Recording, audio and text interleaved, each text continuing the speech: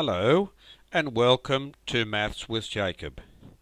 This short video will focus on the relevance of simultaneous equations.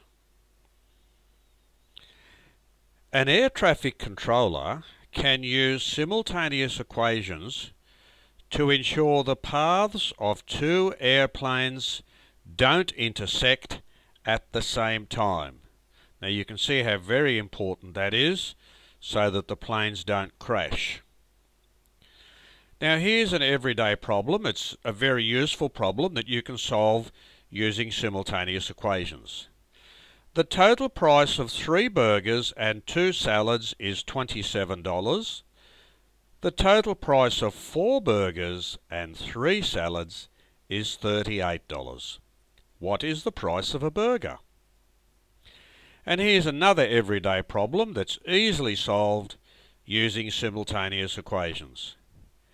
Alice spent a total of $55 on accessories. She bought a total of seven items. If each hat costs $7 and each tie costs $9, how many of each did she buy? To subscribe, please click here. If you want to see the video on this topic, please click here. There are many more examples where simultaneous equations are used in real life.